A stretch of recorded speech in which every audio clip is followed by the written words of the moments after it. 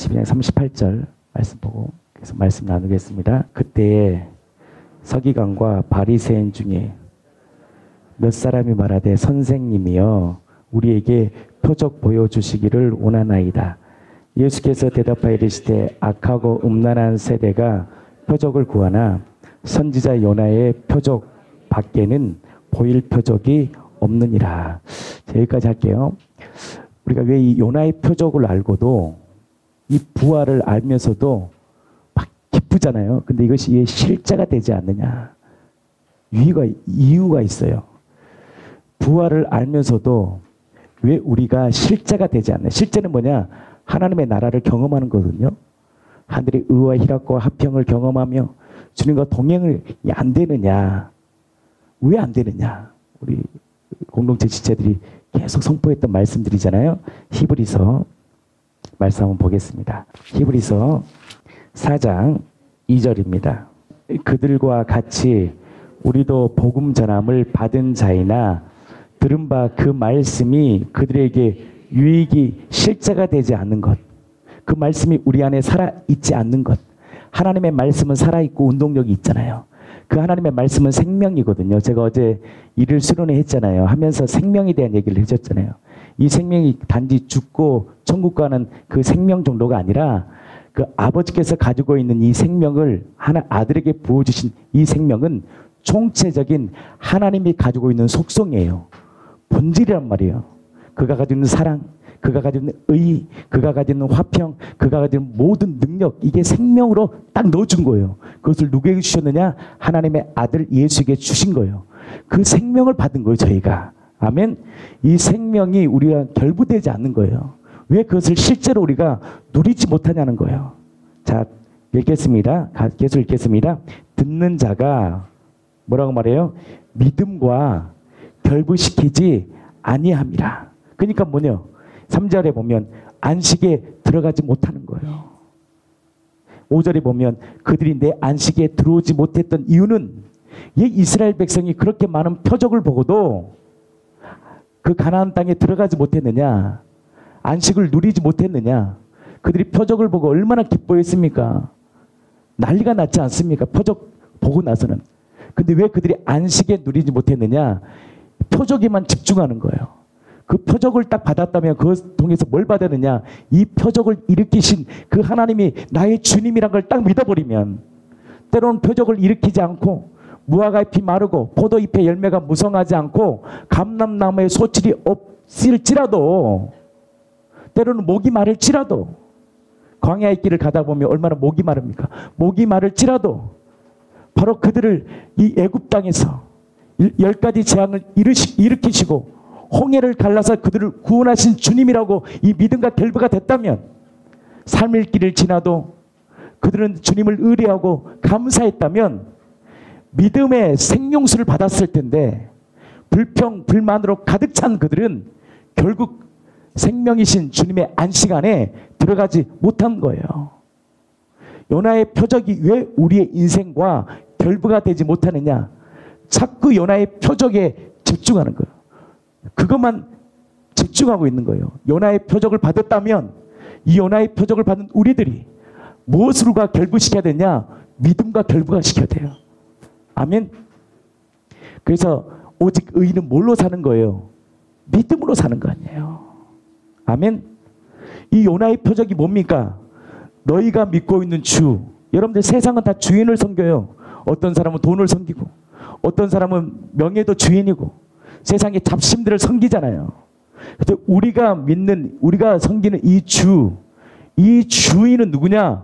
천지를 창조하신 Lord예요. 아멘. 그 Lord임을 어떻게 주님이 말씀해 주셨느냐? 너를 위해 죽었잖니? 율법대로 내가 철저히 너 바로 우리 피조물을 위해 철저히 찢김 받고 찔림 당하여 죽었지 않니?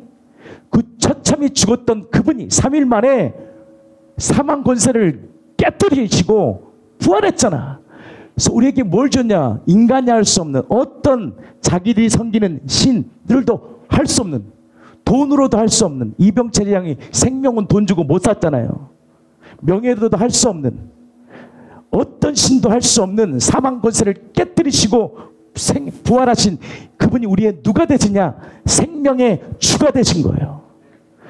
그분이 바로 우리의 주님이시라는 것이 내 안에 뼛속 깊이 믿어지면 어떻게 이기냐? 세상을 이긴다는 거예요. 세상은 뭐에 꽉 차 있습니까? 육신의 정욕, 안목의 정욕, 이생의 자랑이잖아요. 제가 우리 새벽에도 말씀했지만 왜 이게 안 되느냐? 이 하나님의 나라를 경험하지 못하느냐 이유가 있어요. 제가 씨 뿌리는 비유를 새벽마다 증거했잖아요. 씨는 뭐니까 말씀이신 예수 그리스도. 근데 이 씨, 이 믿음의 주체가 누구냐? 예수님이에요. 예수님이 내 안에 심겨질 때 믿음이 발동해요. 근데 문제는 뭐냐? 우리 안에 있는 이 씨, 예수님이 어떤 분이신지를 모르니까 이만큼 사는 거예요. 그래서 우리 안에 계신 말씀의 씨, 예수님의 미 무엇을 통해서 우리에게 믿음을 확증시켜 주냐? 요나의 표적이라는 확실한 죽으신가 부활이라는 확실한 이 표적을 통해서 아, 내 인생을 의탁할 수 있겠구나. 저분 정도라면 내 인생을 맡길 수 있겠구나. 라는 뭐요? 믿음의 끈을, 사건을 우리에게 주신 거예요. 요나의 표적. 근데 그 요나의 표적을 일으키신 그분이 누구다? 우리의 주님이시라는 거예요. 아멘. 그래서 그 주님이 내 안에 심겨지면 믿어지면 믿어지면 믿어지면 믿어지면 어떻게 한다? 세상을 이겨요. 세상은요 절대 이길 수 없어. 왜? 곤중 권세 잡은 자들이 세상을 꽉 잡고 있어요. 이 곤중 권세 잡은 마귀는 우리가 행복한 꼴을 못 봐요. 성경은 정확히 얘기합니다. 이 세상은 누가 속해 있다? 어둠 가운데. 마귀가 잡고 있는 이 세상. 그들 우리에게 달콤한 걸 주고 쾌락을 주지만 마귀의 특징이 뭐냐? 마귀는 우리가 행복할 꼴을 못 보고 부부가 살아가는 꼴을 못 보고 성도가 행복하는 꼴을 못 보고 왜? 마귀는 우리를 죽이고 멸망시켜요. 이것이 정확히 우리의 생각, 마음 안에 박혀야 돼요. 아멘. 근데 이것이 믿음, 진리라는 것을 무엇으로 말씀해 주셨느냐? 이건 우리 주님이 말씀하신 거잖아. 말씀하신 거잖아요. 부활이라는 확실한 표적을 딱 던져주니까 성경의 말씀이 진리잖아요. 아멘. 그래서 우리가 믿어지는 거예요. 어? 천국의 주인이 우리에게 말씀해 준 거 아니에요. 천국의 주인이. 너 세상이 어떤 곳인지를 폭로해 준 거예요. 우리가 예수 만나기 전에 세상이 어떤 곳인지 알았습니까? 그냥 세상의 물에, 문화에 흡수하며 살았잖아요. 그게 누구냐? 예를 들어 설명했잖아요. 늑대 소년이 있습니다. 18년 동안 늑대로 살았던 사람이 있어요. 아니, 늑대로 살았던 남자가 있어요. 그 남자가요, 결국 죽습니다. 늑대로 살았고, 늑대의 젖을 먹고 살았단 말이에요. 18년 뒤에 발견이 됐어요. 늑대 소년이. 그래서 너는 사람이다. 너는 사람이다. 너 늑대가 아니야. 결국 이 늑대 소년이 실합니다. 혼란이 딱 생기면서 적응을 못해서 인간을 인간다워 인간은 인간답게 살아야 되잖아요. 하나님이 창조할 때 우리가 하나님의 사람답게 살게 만들었는데 어떻게 사느냐? 이 늑대 소년처럼 늑대로 계속 사는 거예요. 부정하는 거예요. 결국 죽었어요. 우리가요, 하나님을 떠난 우리가요, 이런 존재예요. 늑대 소년처럼 늑대의 젖을 먹고 사는 거예요. 세상의 풍조에 따라 살고, 세상의 가치관이 계속 들어가니까, 하나님의 말씀대로 살지 않고, 세상의 것으로 살다가 결국 진노받을 수 있는, 멸망받을 수밖에 없는 wak한 죄인 우리예요. 이것이 성령을 통해서 딱 조명이 돼야 되구나. 내가 늑대 소년이구나. 여러분 우리가 늑대 소년이에요.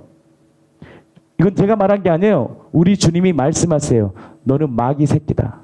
마귀 자식이야 너. 예수님이 폭로해버려요. 그렇게 의롭게 사는 그들에게 유대인들이 어떤 사람들입니까? 여러분들 그들이 굉장히 철저한 사람입니다.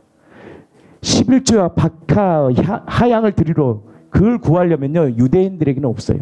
그 지역에는. 그거 하나 물품 구하려고요. 저 멀리 가서 그 물품 들여서 하나님께 드렸던 사람들이에요. 박하와 하양. 엄청나게 열정이 있었던 사람들이에요.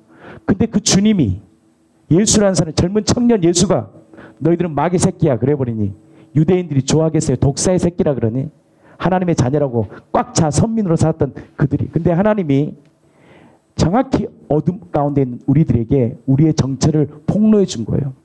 너희들의 신분이 누군지 아냐? 너희 신분의 정체. 하나님을 떠난 우리의 신분은 마귀다. 이 말 들을 때 여러분들 기분이 안 좋으시면 다시 말씀을 보시기 바랍니다. 저한테 기분 나빠하지 마시고 우리 주님 앞에 기분 나빠하세요. 그 말했더만 어떤 분이 굉장히 저한테 기분 나빠하시더라고요. 아 저한테 기분 나빠하지 말고 성경에 써 있어요. 한번 찾아볼까요? 오해하신 분이 한 분 계신 것 같아서 요한복음 8장. 아, 제가 그때 얼마나 힘들었는지 모릅니다. 요한복음 8장에 나옵니다. 한번 볼게요. 8장 44절 한번 찾아보고 정확히 하늘님은 왜 예수님께 하내고 기분 나쁘다는 건 저한테 하지 마시고 우리 예수님께 기분을 나쁘다고 표현하시고 저에게는 그러지 말시길 바랍니다. 8장 44절 같이 읽겠습니다. 시작 너희는 뭐라 그래요? 너희 아비 마귀에게 낫다 얘기하잖아요. 그러니까 늑대의 젖을 먹고 살았다 똑같은 거예요. 너희 아비의 욕심대로 너희도 행하고자 하느니라. 뭐라 그래? 정체를 정확히 얘기해요. 이 마귀 마귀의 정체 그는 처음부터 뭐예요? 살인자요.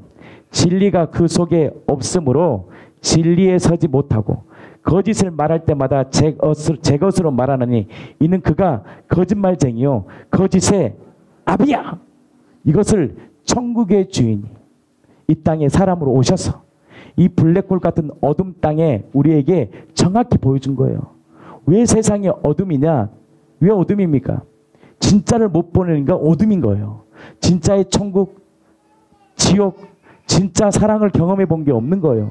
그래서 예수님이 이 땅에 오셔서 천국의 기쁨이 무엇인가를 진짜 사랑을 그분이 보여주신 거예요. 그 절전이 뭔지 아세요? 십자가로 딱 보여주신 거예요. 이것이 진짜 천국의 진짜의 삶이라는 것을 자기의 철저한 복종을 통해서 보여주셨다는 거예요. 정희 선생님 거좀 준비해 주시고요. 예, 어제 나눴던 거. 아멘. 우리 정체가 뭐라고요? 마귀 새끼라는 거예요. 그러니까 이 틀이요 안 깨져요. 그러니까 여러분들 어릴 때 신앙생활을 하는 게 복음을 듣는 게 좋아요. 나이 30 먹고 40 먹고 50 먹고 60 먹으면 늑대젖을 너무 많이 먹어가지고 이게 꽉 차 있어 생각이. 복음이 선포돼도 부활의 실제를 누리지 못해. 왜? 세상의 가치관이 너무나 형성이 딱 틀에 박혀서 이것을 깰 수가 없어요. 근데 하나님이 깰 수 있는 방법을 주셨어요. 이게 뭔지 아세요? 회개예요. 그래서 회개하고 복음을 믿으라는 거예요. 하나님의 복음의 메시지가 선포돼요. 그때 그것을 우리의 힘으로 이것을 고쳐보려고 그러면 백날 해도 못 고쳐요. 나의 모습이 적나라하게 딱 들어가면 딱 한 가지만 하면 돼요. 어찌할고 회개가 딱 터지면 하나님이 그 마음 안에 성령을 한량 없이 부어주셔요. 하나님이 주시는 특권 중에 특권이 뭔지 아세요? 회개예요. 돌을 키는 특권. 회개는 뭐냐? 그냥 눈물로 그냥 짜고 회개합니다. 다시 원래로 돌아가는 거예요. 원래 주님의 말씀 앞에 다시 서는 거예요. 그러면 회개해요. 그러면 하나님의 성령이 한량없이 우리에게 부어주셔서 세상을 살 수 있는 힘을 주는 거예요. 아멘. 제가 말씀을 다시 한번 정리합니다. 왜 우리가 부활의 실제가 되지 않는가? 부활의 실제는 뭐냐? 부활의 생명으로 사는 거냐? 아니요. 우리가 전에 육신의 것을 쫓아 살다가 보는 대로 판단하고 보는 대로 눌리고 보는 대로 쓰러지고 보는 대로 기뻐했던 우리들이 부활이라는 확실한 표적을 통해서 그분을 마음에 주로 회개하고 믿을 때 그 생명이 들어와요. 근데 왜 생명이 가로 많기냐? 왜요? 믿음과 결부를 시키지 않아서 그런 거예요. 아멘. 그럼 믿음으로 살아야 되는데 왜 안 되느냐? 18년, 20년, 30년, 40년 살아오는 이 경관 늑대 젖을 먹고 살았던 우리들이 결국 뭘 기억하느냐? 예수님이 십자가 이미 우리를 못 박았고 새 피조물이 되었는데라고 선포했는데도 불구하고 옛 기억이 끊임없이 날 도살해서 마귀가 거짓말하는 거예요. 계속 우리를 노략질하는 거. 거기에 우리의 눈과 시선이 딱 가버리면 어떻게 되냐? 실제를 못 누려요. 예를 들어서 하나님이 죄지 말고 하나님 뜻대로 살면 복을 받아요. 간단합니다. 밤새 TV 보고 컴퓨터 게임 이상한 거 하고 있어. 예수 믿었대. 그건요 하나님의 실제를 누리지 못해요. 예수 안에 있는 자에게는 자 로마서 8장 1절입니다. 예수 안에 있는 자에게는 뭐예요? 결코 정죄함이 없다라는 거예요. 자 그러면 그 말이 뭐냐? 예수 안에 있다라는 것은 뭐냐? 내가 마귀 젖으로 늑대 젖을 먹고 살았어요. 아 이게 아니구나 돌이켰어. 그럼 어떻게 살아야 돼? 하나님의 말씀에 통참을 받아야 돼. 이게 맞아? 맞아. 그리고 그 말씀의 통참을 딱 받을 때만이 하나님의 나라를 경험한다는 거예요. 그게 구원파 아닙니까? 이게 입술로만 주요주요 하는 거예요. 진짜 부활의 생명을 내가 받았다면 이것이 얼마나 큰 그 위대한지를 딱 알면 어떻게 사느냐? 예수 안에 있다는 것은 육신을 쫓아 사는 게 아니에요. 오늘 찬양했잖아요. 내가 그리스도와 함께 십자가에 못 박혀 죽었나니. 그런즉 이제는 내가 사는 것이 아니라 내 안에 누가 사는 거예요? 그리스도. 그분이 사신 거예요. 이제 내가 육체 가운데 살아야 되잖아요. 이 질그릇으로 살아가야 되잖아. 사는 것은 나를 사랑하사 자기 몸을 버리신 하나님의 아들을 믿는 뭘로 사요? 느낌, 신념이 아니라 믿음으로 사는 거예요. 무슨 말이냐 여러분 믿음으로 살려면요 거룩해야 돼요. 하나님 우리를 이미 깨끗하고 말씀하셨단 말이에요. 너 옛날 과거 묻지 않겠어. 너 3년 전에 그 과거 나 절대 묻지 않아. 너 다 끝났어. 이미 내가 십자가에 못 박았어. 그럼 뭐예요? 끝난 거예요. 근데 구원파는 뭐냐? 끝났으니까 마음대로 살아버리는 거예요. 그럼 이제는 뭘로 살아야 돼요? 믿음으로 살아야 돼요. 믿음으로 사는 게 내 신념이 아니에요. 믿습니다가 아니에요. 거룩하게 살면 성령이 쫓아 행해요. 하나님이 내 마음에 말씀을 주셔요. 살 수 있는 힘을 주셔요. 이렇게 힘을. 그 은혜를 부어주셔요. 그 믿음으로 사는 거예요.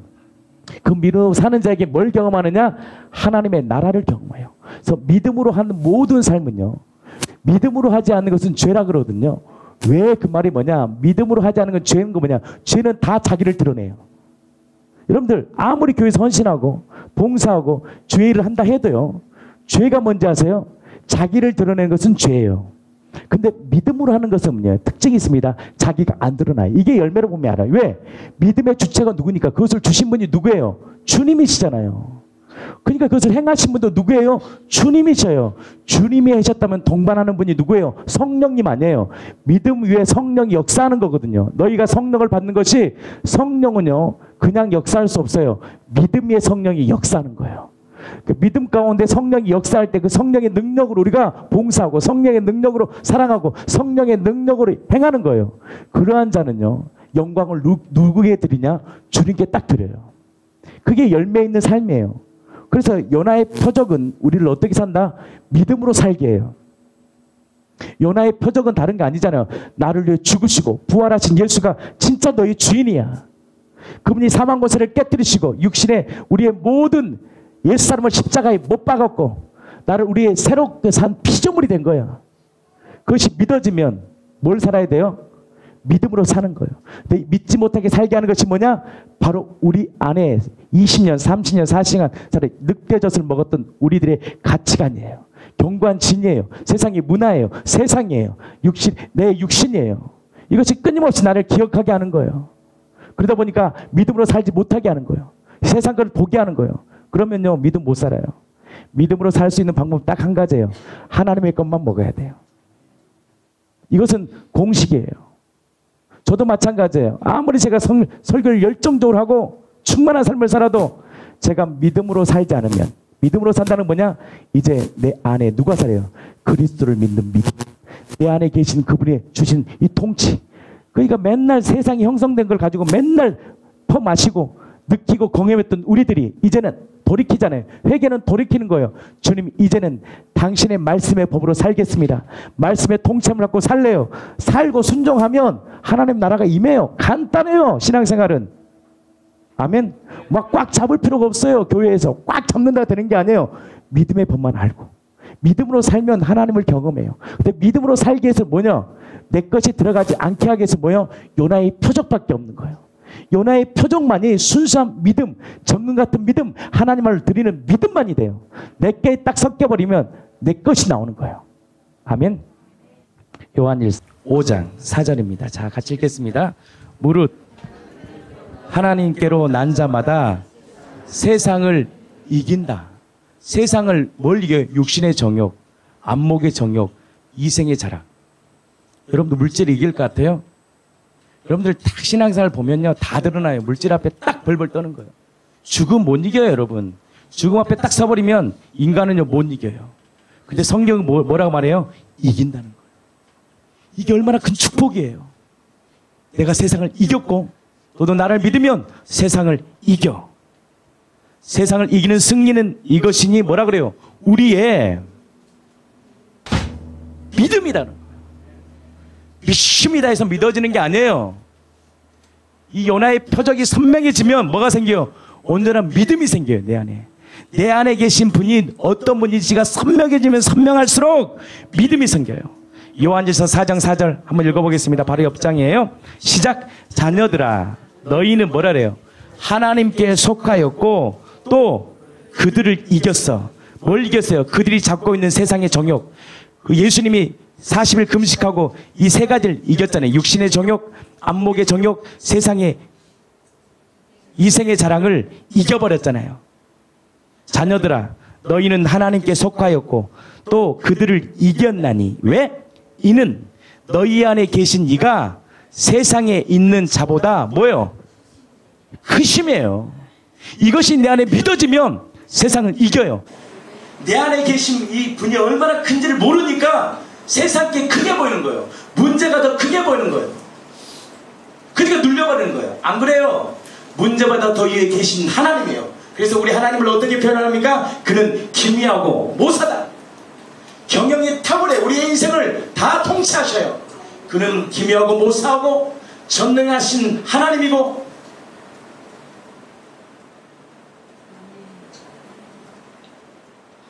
영존하신 아버지고 평강의 왕이에요. 아멘. 이것이요 내 안에 믿어지면 믿어질수록 어떻게 산다고요? 믿음으로 사는 거예요. 이것이 안 되면 믿음으로 못 살아요. 그러면 누구냐? 내 안에 계신 그분이 누구냐? 씨가 있어요. 근데 호박씨를 심고 또 하나는 무를 심어요. 겨자씨를 심어요. 씨가 중요한 게 우리 안에 심겨진 씨의 정체를 아는 거예요. 씨. 여러분들 모든 성경에 씨 싸움이에요. 씨. 누구 아, 자녀냐? 하나님의 아들과 세상의 아들. 다 세, 사, 창세기 4장부터는요. 씨 싸움이에요. 낳고 낳고 낳고 낳고 낳고 낳고가 중요해요. 누구 씨냐가 중요한 거예요. 가인의 씨냐 아벨의 씨냐. 이 씨 싸움 씨 싸움. 그래서 가인의 씨는 세상에 쓰고 아벨의 씨는 아벨이 쓰고 셋 셋은 하나님의 쓰고 이 씨 싸움의 정체를 마귀가 딱 혼란시키는 거예요. 다 막아버리는 거예요. 그래서 우리 안에 어둠이 거친다는 것이냐 뭐냐? 우리 안에 계신 그분이 누구인지가 정확해지는데 왜 우리가 모르느냐? 인간은요 3천밖에 못 봐요. 정확히 4천을 볼 수가 없어요. 그래서 뭘 보시냐? 사실을 준 거예요 사실. 그 사실이 뭐냐? 창조주가 사람으로 오셔서 그분이 육체로 죽으시고 부활하셨는데 그냥 죽고 부활한 게 아니라 율법대로 성경의 예언대로 부활하심을 통해서 이게 사실임을 보여준 거예요 그것을 믿을 때 이것이 믿, 선명하면 선명할수록 어떻게 산다? 세상을 이겨요. 믿음으로 살아요. 믿음 어떻게 하는지 아세요? 세상 이겨요. 죽음 앞에서도요. 끔찍할 수 있는 삶을 살 수 있는 거예요. 자식이 무너지고 환경이 무너져도요. 이 믿음을 가진 자는 세상을 이겨요. 왜? 우리 안에 계신 그분이 누구니까? 온 우주를 창조하신 만왕의 왕이에요. 자기 아들을 아끼지 아니하시고 우리 모든 사람을 내어 내어주신 이가 어찌 그 아들과 함께 우리에게 모든 것을 좋은 것을 주지 않겠느냐? 그것을 직접 보여주신 거예요. 자신의 영광을 실제로 보여주신 거예요. 말로 하지 않고 실제로 보여주신 거예요. 실제로. 그 믿음이 내 안에 들어오면 들어올수록 뭐가 생기냐? 믿음이 생겨요. 그런 자는 고백합니다. 세상과 나는 탐구도 없고 구속하신 주님만이 보여요. 영원한 나라가 보이는 거예요. 그게 세상을 어떻게 살아요? 쉽게 사는 거예요 세상은 어렵다는 것은 어렵다 어렵다는 사람은 아직도 내가 주인이에요. 세상은 어렵지 않아요. 이건 제 말이 아니에요. 또 이거 가지고 또 불평하지 마세요. 이 목사가 잘 못 살아봤어요. 목사가 더 힘들어요. 사는 거 한번 해보세요. 목사가 더 힘든 직업이에요. 여러분. 진짜 직업이면 직업. 힘든 거예요. 해보세요. 쉬운 게 아닙니다. 매일 그 자리에 딱 서는 게 얼마나 힘든지 아세요? 죄지면 못 써. 그래서 그렇게 해야 돼. 왜? 영적인 말씀이기 때문에 이게 안 나가요. 여러분들이 한 번 갔다 나오면 되지만 이 한 번 이 강대상이 엄청 어려운 자리예요. 해봐요. 힘들어요. 그래서 영적으로 가득 차야 돼요. 목회자가 아니면 말씀을 못 전해요. 역사가 안 일어나. 그럼 알아요 벌써. 깽다리라는 거. 성도들도 알아. 성도들은 매의 눈이에요. 정확히 알아요. 안 봐도 어떻게 그런 걸 진짜 잘하는지 모르겠어요. 요즘 목사님 은혜가 떨어졌는데 성도들이 잘 알아. 왜 자기가 떨어져 있으니까 상태를 다 아는 거예요. 못 이겨. 세상을 못 이겨요. 뭘로 이긴다? 믿음, 믿음. 이 믿음이 나의 신념이 아니에요. 나와 기도를 많이 해서 되는 게 아니라 정확한 믿음의 끈인 요나의 표적. 5절 나오잖아요. 예수께서 하나님의 아들이심을 믿는 자가 아니면 세상을 이기는 자가 누구냐? 그래서 예수가 하나님의 아들이심을 뭘로 증거했습니까? 로마서 1장 4절 아닙니까? 성결의 영으로는 죽은 자 가들 가운데서 뭐예요? 부활하사 능력으로 하나님의 아들로 우리 피조물에게 보여주신 거예요. 봤지? 정확히 봤지? 사망 고수를 깨뜨린 저분이 누구야? 하나님의 아들.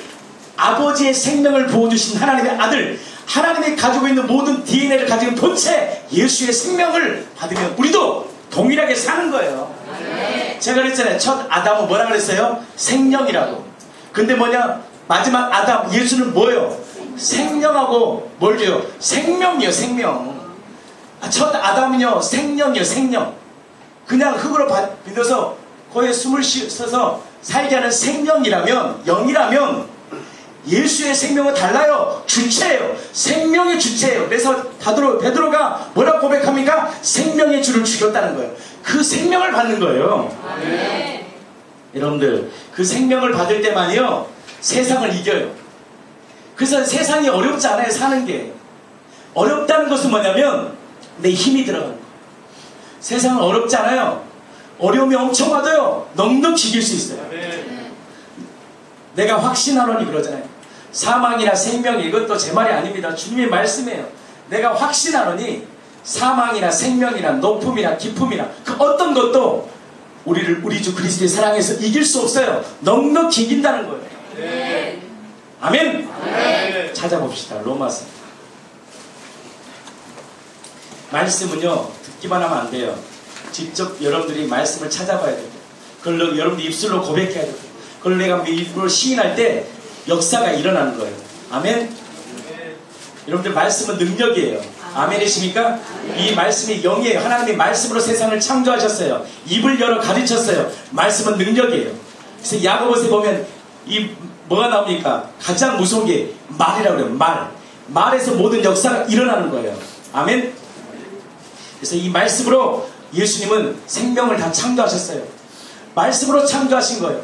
지금 이 시대에도 뭘로 역사하느냐? 말로 역사하는 거예요. 말 한마디가 죽고 살리는 거예요. 그래서 온전한 자는 딱 한 사람, 내가 온전하다. 열매가 딱 보면 알아요. 제가 말씀했잖아요. 야고보세요. 말이에요. 말. 말이 온전하면 그 사람은 온전한 자가 되는 거예요. 그리고 예수를 믿지 않는 자도 말 잘하는 사람 있잖아요. 온전한 자. 성철 스님이나 이런 분들. 근데 뭐냐? 그 말에서 누가 나와야 돼요? 생명이 나와야 돼요. 이게 다른 점이에요. 그들은 자기가 경험한 말을 하고 자기가 경험한 가치관, 철학을 얘기하고 거기는 생명이 없어요. 혼을 좀 즐겁게 해줄 수 있어요. 진정한 생명은 나오지 않아요. 이 말에서 뭐가 나야 돼요? 예수의 생명의 말씀이 복음이 나올 때 우리의 영이 살아나는 거예요. 제가 제 말 백마대도 살아나지 못해요. 어떤 말을 할 때 살아나느냐? 예수의 생명의 말씀을 선포할 때 역사가 일어나는 거예요. 자, 로마서 8장 32절, 31절부터 우리 한번 읽고 조희 선생님 그거 좀 나눠주세요. 31절 시작. 그런즉 이 일에 대하여 우리가 무슨 말 하리요? 만일 하나님 우리를 위하시면 누가 우리를 대적하리요? 자 32절입니다. 같이 읽으세요. 시작. 자기 아들을 안녕하시고 우리 모든 사람을 위하여 내주신 이가 어찌 그 아들과 함께 모든 것을 우리에게 주시지 아니하겠느냐. 아멘 하세요. 아멘. 준다는 거예요. 문제는 뭐냐? 안 믿어. 왜? 18년, 20년, 30년 동안 내가 주인 돼서 늑대젖을 먹고 산 거예요. 세상의 가치관 가운데 사니까 안 믿어요. 그러니까 늘 염려. 문제만 터지면 염려. 말 한마디에 염려. 이거 왜 그런지요? 세상의 것을 먹어서 그래요. 그러나 하나님의 사람은 생명은요, 염려하지 않아요. 기뻐요. 문제가 터져 그 문제에 계신 하나님을 신뢰하기 때문에 오히려 기뻐요. 오, 하나님 어떤 일을 행하실 거지? 기대해요. 오, 할렐루야. 또 하나님 뭔가를 행하시겠구나. 기대하는 삶을 살아요. 이게 생명을 가진 자의 축복이에요. 그러니까 세상이 감당할 수 없는 거예요. 이런 사람들은. 아멘. 33절 시작. 누가 능히 하나님께 택하신 자들을 고발하려 의롭다 하신 이는 뭐예요? 하나님이라는 거 하나님. 의롭다 하신 분은 내가 아니에요. 내가 의롭다 백날에도 안 해요. 하나님이 의롭다고 하셔야 돼요. 그래서 예수님이 왜 부활이 중요하냐? 부활해서 승천하셔서 하늘 보좌에서 선포해야 돼요. 너희는 의롭다. 이게 그리스도예요. 아멘? 네. 의롭다 선포한 거예요. 324절 같이 읽겠습니다. 시작. 누가 정죄하게 죽으실 분 아니라 다시 살아나신 이는 그리스도 뭐요? 예수시니 그는 하나님 우편에 계신 자요 우리를 위하여 뭐 하신 분이요 강구하시는 자시라 35절 누가 우리를 그리스도 사랑해서 끊으리요 환란이나 공고나 박해나 기근이나 적신이나 위험이나 칼이랴? 36절. 기록된 바 우리가 종일 주를 위하여 죽임을 당하게 되며 도살 당할 양같이 여김을 받았나이다. 함과 같으니라. 자 37절입니다. 그러나 이 모든 일에 우리를 사랑하시니로 말미암아 어떻게 한다? 넉넉히 이긴다. 이게요 생명을 가진 신비예요. 아멘 그게 형통이에요. 넉넉히 이겨버려요. 38절 읽겠습니다. 시작. 내가 확신한다. 사망이나 생명이나 천사들이나 권세자들이나 현재 일이나 장래 일이나 능력이나 자 39절입니다. 높음이나 깊음이나 다른 어떤 피조물이라도 우리를 우리 주 그리스도 예수 안에 있는 하나님의 사랑에서 끊을 수 없는 거예요. 하나님의 사랑의 결정체가 뭐예요? 요나의 포적 아니에요. 십자가에 죽으시고 내 생명 내어주신 분이 어디 있어요 세상에. 근데 그분이 거기에 끝난 게 아니에요. 부활하시고 요나가 다시스로 가버리잖아요. 그러니까 풍랑을 일으키잖아요. 어떻게 거기가 살아난지 아세요? 요나가 자기의 몸을 집어던져요. 그러니까 풍랑이 잔잔케 돼요. 근데 어떻게 해서 아수르 민족이 살아 죄에서 구원받은 지 아세요? 이유가 있어요. 그가 3일 만에 살아났어요. 살아났기 때문에 그 말씀이 복음이 된 거예요. 그 말씀을 그들이 믿게 된 거예요. 백날 말을 잘해서 된 게 아니에요. 열정으로 되는 게 아니에요. 살아났기 때문에 아수르 민족이 깜짝 놀란 거예요. 그러면 이 사람의 말은 뭐예요? 신의 말이에요. 그렇게 그 말은 백, 백, 어떤 말을 해도요, 그 말은 진리가 돼요. 뱀 가족을 뱀을 삶아서 먹어봐. 그럼 회개. 그러면 하나님이 너희들 심판에 자유케 할 거야 라고 말해도 요나의 말은 뭐가 돼요? 진리가 돼요. 근데 왜 요나가 하나님의 순수한 말씀을 딱 전했을까요? 빼지 않고 더하지 않고 하나님이 어떤 분인지를 안 거예요. 하나님을 아는 자는요, 하나님의 것만을 전하길 원해요. 왜? 하나님은 우리를 보고 계시기 때문에. 죽으시고 부활하신 것이 선명하면 선명할수록 인생은 거룩하게 살아요. 왜? 우리의 모든 것을 통치하시고 감찰하신 그분이 우리의 주님이라는 걸 아는 자는 더욱더 어떻게 사느냐? 거룩한 인생을 살아가요. 그래서 코람되고 그러잖아요. 하나님 앞에서 사는 거예요. 그분과 동행하며 사는 거예요. 그러니까 민감해지는 거예요. 말도 민감해지고 나의 깊은 동기도 민감해지고 모든 것이 의식이 되는 거예요. 그래서 누구를 기쁘게 하느냐? 사람을 기쁘게 하는 것이 아니라 하나님을 어떻게 하면 기쁘게 해줄까 고민하는 거예요. 왜? 그 믿음은 우리를 어떻게 돼요? 하나님의 나라를 경험해요. 아멘. 이렇게 해서 말씀 나누고 마치겠습니다. 목사님 이 말씀을 막 이렇게 전하시는데 너무나도 귀한 말씀을 전해 주셨어요.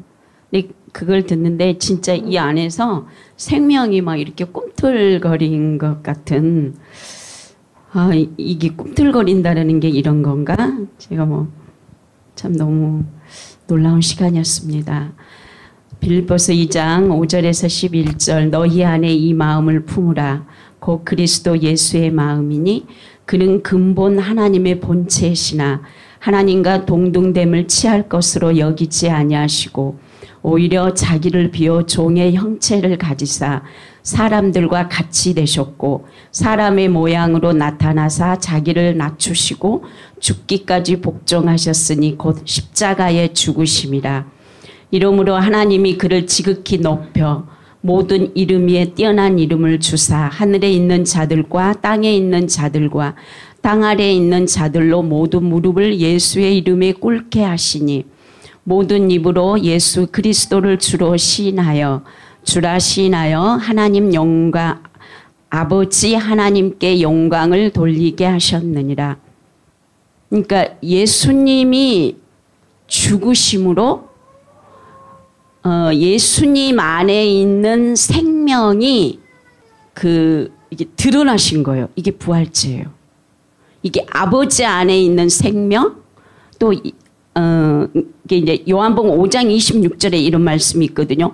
아버지께서 자기 속에 생명이 있음 같이 아들에게도 생명을 주어 그 속에 그러니까 아버지 안에 있는 생명이 있고 아들에게도 생명을 주어 그 속에 있게 하셨고 음, 예수님이 자기를 나타내지 않고 아버지를 드러내신 거예요.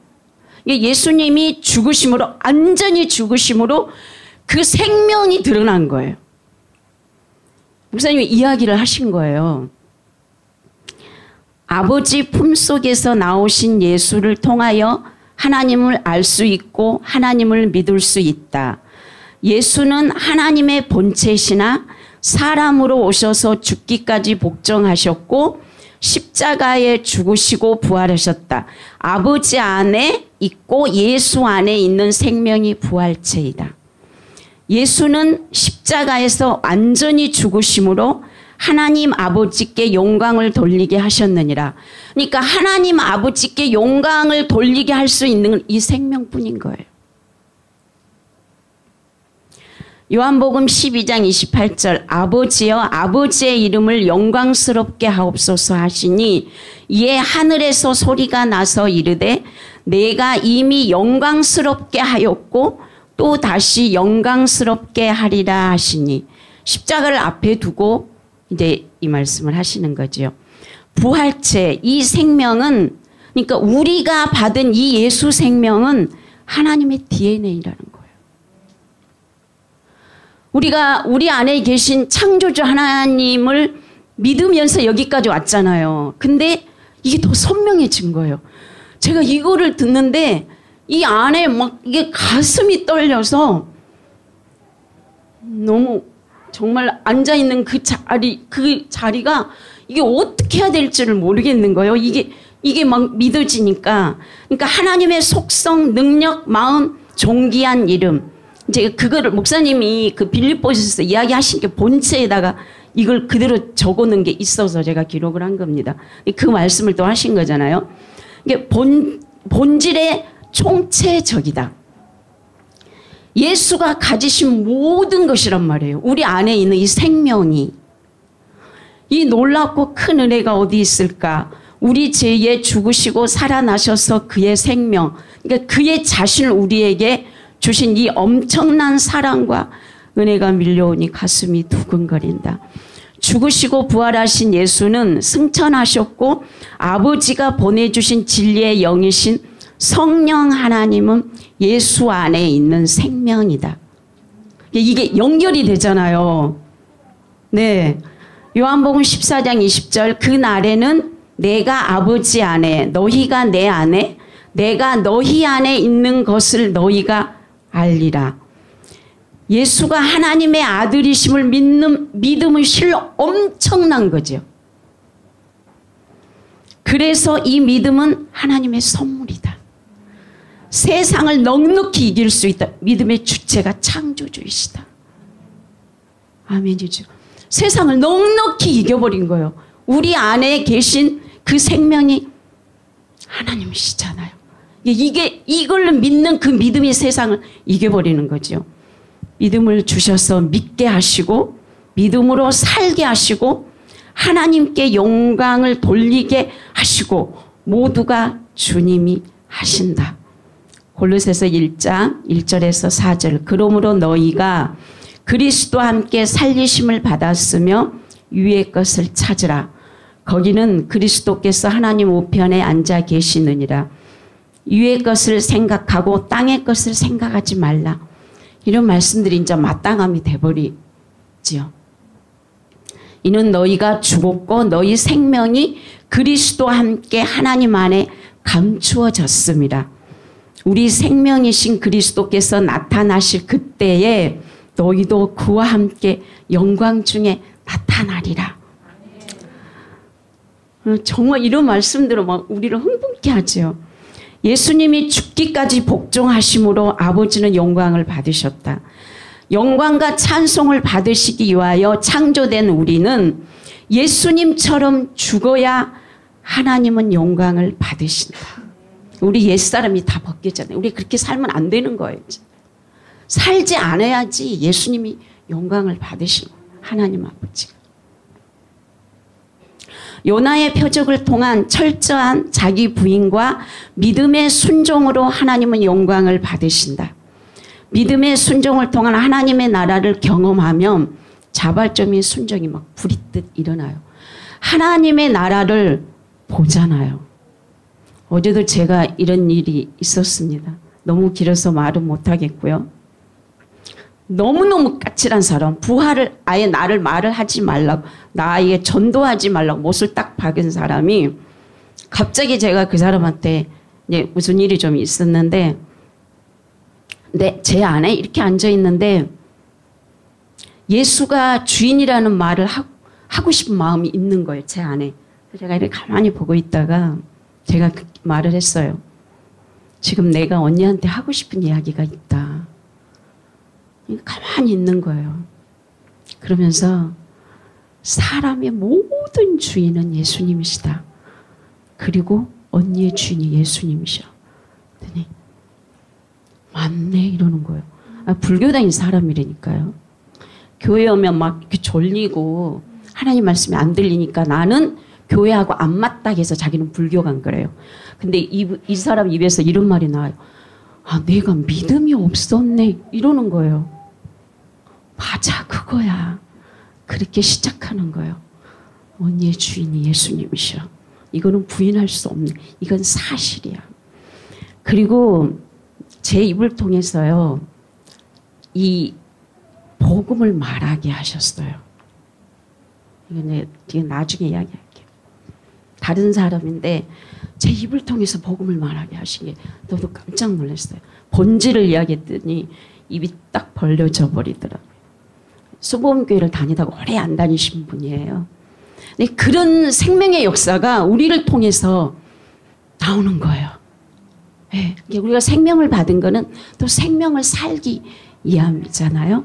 요한복음 12장 24절 내가 진실로 진실로 너희에게 이르노니 한 알의 밀이 땅에 떨어져 죽지 아니하며 한 알 그대로 있고 죽으면 많은 열매를 맺느니라.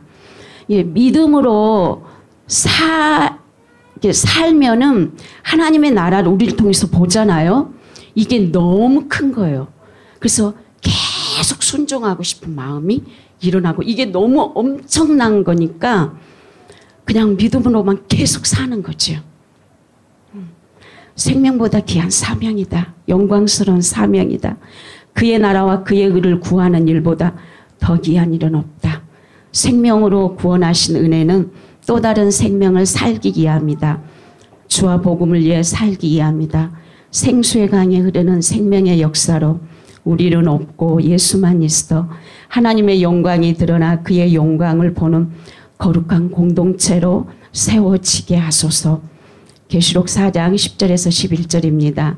24 장로들이 보좌에 앉으신 이 앞에 엎드리고 세색토록 살아계시는 이에게 경배하고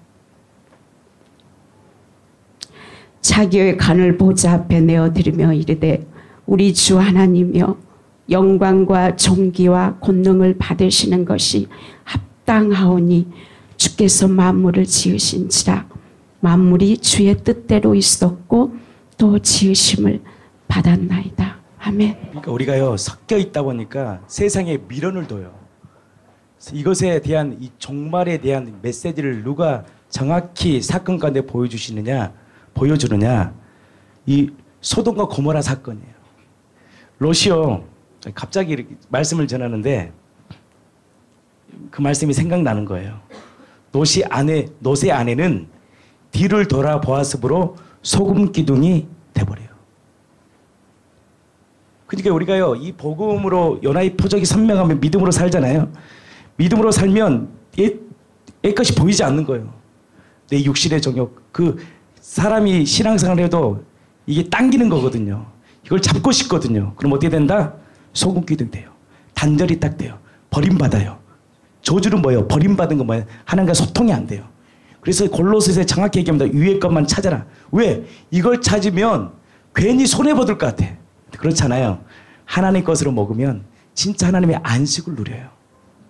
나는 이 공동체가 이 믿음으로 살기를 원합니다. 이 믿음의 끈이 무엇이냐? 오직 연하의 표적이에요. 이 연하의 표적이 선명하면 선명할수록 우리가 믿음으로 살아요. 이 믿음으로 살 때 뭘 경험하느냐? 안식을 누려요. 그것이 무엇이냐? 하나님의 나라예요. 우리 마가복음 한번 보겠습니다. 씨 뿌리는 부유, 즉 한 주간 말씀 전했으니까 여러분께서 말씀을 잘 보시기 바랍니다. 듣기를 바랍니다. 마가복음 이게 한 번 들어서는요 절대 이해가 안 갑니다. 저도 어떤 말씀을 들을 때 한번 듣고 두 번 듣고 세 번 듣고 네 번 들을 때내 마음에 심겨져요. 그리고 믿음으로 순종할 때 역사합니다. 자, 30절입니다. 4, 4장 30절 말씀 보겠습니다.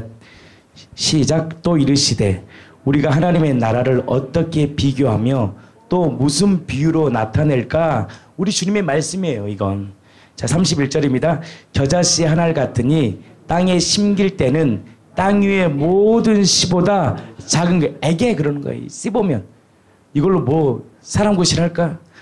저 이걸로 뭐, 뭐가 생명이 나올까? 아주 무시한 이 겨자씨보다는 씨. 그것이 뭐냐? 남들이 사람들이 버린 돌처럼 버린 예수. 사람들이 버림바 되었잖아요. 사람들 그 이름 건축자의 버린 돌처럼 버려지만 그러잖아요. 사람들이 다 버린, 다 조롱하고 거절했던 예수. 지금이야 우리가 예수를 위대하게 보지만 그 당시 십자가에 처절히 달려버려 아무 힘도 없이 죽었던 그 예수 별거 아닌 했던 그 예수 그 생명의 씨가 내 안에 믿고 들어오면 놀라운 하나님의 나라를 경험해요. 욥기 제가 말씀했잖아요. 캐시타와 뭐예요? 금고리. 부자에게 몇백을 가진 부자가 캐시타와 금고리가 뭐가 되겠습니까? 그러나 아무것도 없는 사람에게는요. 엄청난 거예요, 이거. 뭘로 이겨요? 남들이 보기에는 보잘것없는 애게 이걸로 어떻게 다시 거부가 될까, 욥기가. 욥은 엄청난 거부였잖아요. 어, 다 궁금했을 거 아니에요. 욥의 인생을. 다 망했잖아요. 자식도 다 죽었잖아요. 어떻게 일어나지? 아무것도 없는 터에서 어떻게 일어나자? 남들이 보기에는 별것도 아닌 캐시타와 금고리. 별것도 아닌 거 아니야. 애게 저걸로 어떻게 일어나지? 남들이 보기에는 예수님을 믿는다는 것이 아무것도 아닌 것 같아도 예수의 생명은요, 하나님의 본체예요. 아멘? 그래서 여러분들, 그 생명을 가지면 예수의 생명을 가지면 무에서 유를 창조해요. 아멘. 남들이 보잘것없게 보는 이 생명, 예수. 그 예수를 내 마음에 심기고 그 말씀 위의 것을 먹고 받아들이고 받아들이면 믿으면 믿을수록 이 믿음은요 세상이 감당할 수 없는 믿음의 사람이 돼요. 아멘. 겨자씨 하나 같으니 땅에 심길 때는 땅 위의 모든 씨보다 작은 곳이로되 32절. 심긴 후에는 자라서 모든 풀보다 커지며 큰 가지를 내나니. 지금은 별볼 없을처럼 보여 사람들이. 그냥 그렇처럼 보이지만 안 그래요. 하나님을 갈망하고 그 생명의 씨를 정말 소중히 여기고 그 씨를 씨이신 그분의 영향을 받고 공급을 받으면 10년 뒤에요. 20년 뒤에 그 인생을요. 하나님의 불꽃처럼 그 인생을 드러내요. 지금 보기에는 화려하고 지금 보기에는 뭐가 보여지는 것 같은데 그렇지 않아요. 생명이 있는 자를 통해서 하나님은 생명을 낳아요. 아멘. 심긴 후에는 자라서 모든 풀보다 어떻게 해요? 커져요. 큰 가지를 내나니 공중의 새들이 그 그늘에 깃들일 만큼 되느니라. 그 주체가 누구냐? 우리 안에 계신 예수님이에요. 우리가 하나님을 믿잖아요. 아멘. 여러분 예수를 믿습니까? 하나님을 믿습니까? 하나님을 믿는 거 아니에요. 근데 무엇을 통해 하나님을 믿느냐? 예수님을 통해서 하나님을 딱 믿는 거예요.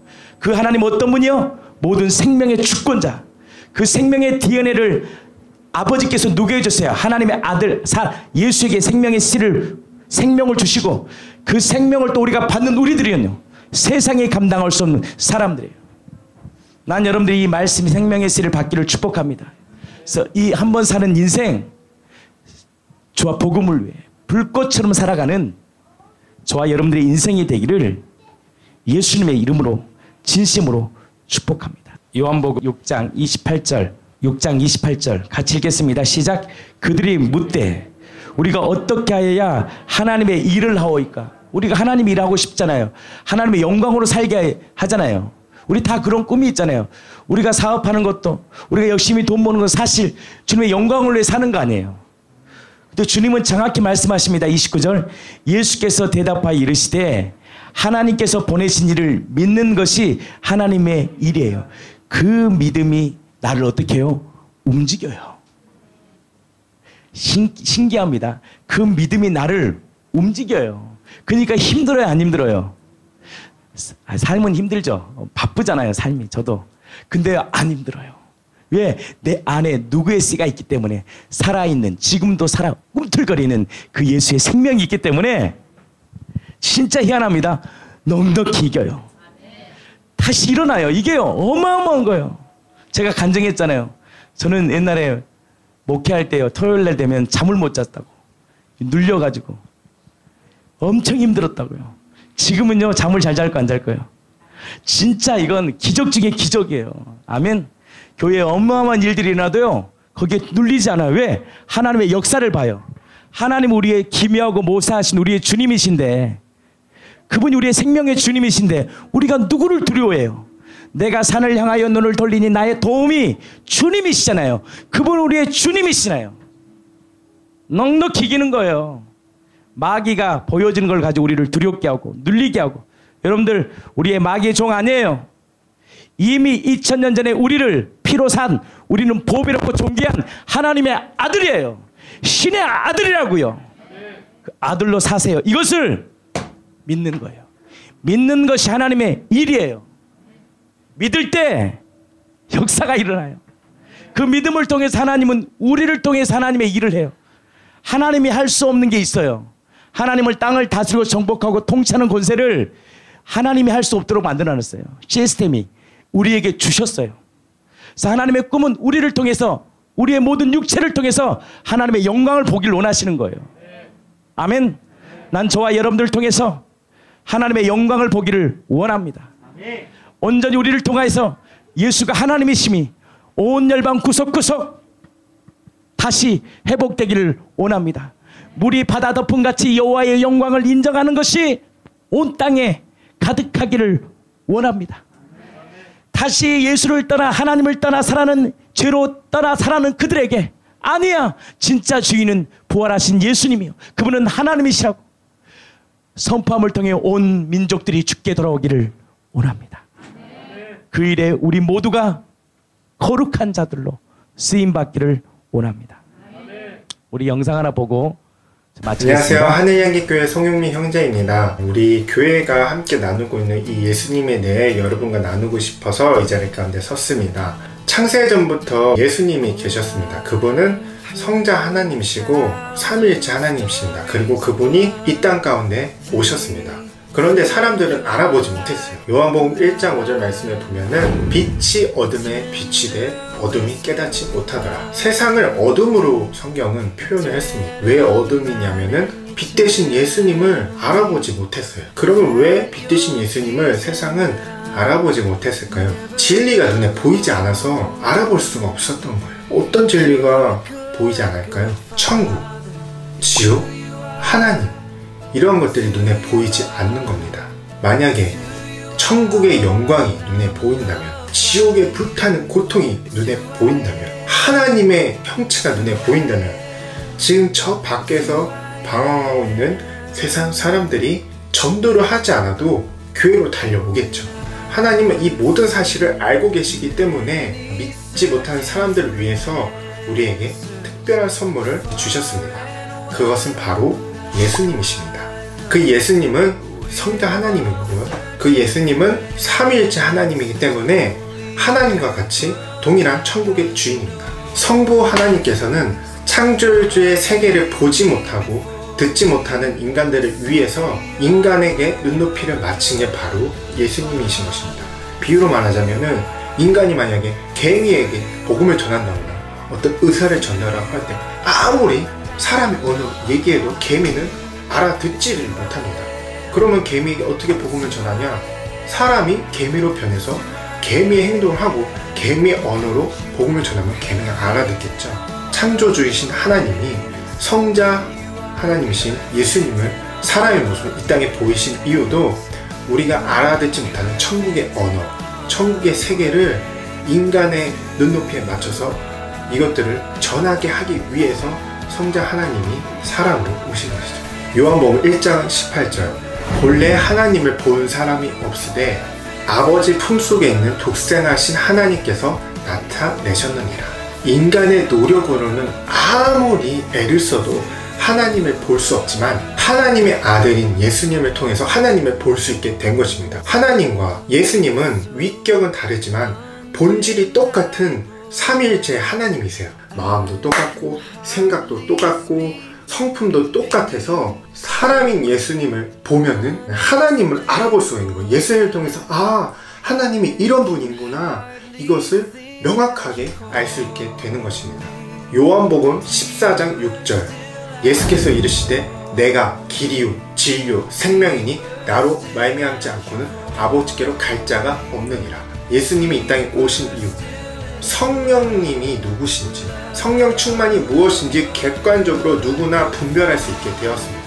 요한복음 15장 26절 내가 아버지께로부터 너희에게 보낼 보혜사 곧 아버지께로부터 나오시는 진리의 성령이 오실 때 그가 나를 증언할 것이요 성령은 예수님을 하나님으로 증언하는 사역이 가장 주된 사역입니다. 그래서 아무리 누군가가 병을 고쳐도 귀신을 쫓아내도 그 사람의 입에서 예수님이 하나님이라는 명확한 증거와 확신이 나오지 않는다면 그것이 성령 충만으로 인해서 나오는 사역이라 단정 지을 수 없습니다. 그리고 마지막으로 가장 중요한 한 가지 사람으로 오신 예수님을 하나님으로 믿을 수 있는 명확한 증거 그것은 바로 부활입니다. 내가 성경대로 죽었다가 성경대로 살아날 거다. 그러면 내가 하나님인 줄 알아라. 바로 사람인 예수가 하나님다를 믿을 수 있는 유일한 증거는 부활인 것입니다. 부활이 믿어지고 부활을 통해서 사람인 예수가 하나님이었다. 이것이 명확해질 때 성경 말씀이 명확해지고 예수님의 모든 말씀이 하나님의 말씀으로 아멘이 되고 믿어지는 역사가 일어나는 것입니다. 우리 예수를 믿는 모든 그리스도인들이 이 부활로 말미암아 믿음이 더욱더 명확해지고 견고해져서 세상을 이기는 믿음으로 땅끝까지 복음을 전하는 부활의 증인으로 다서길 소망합니다.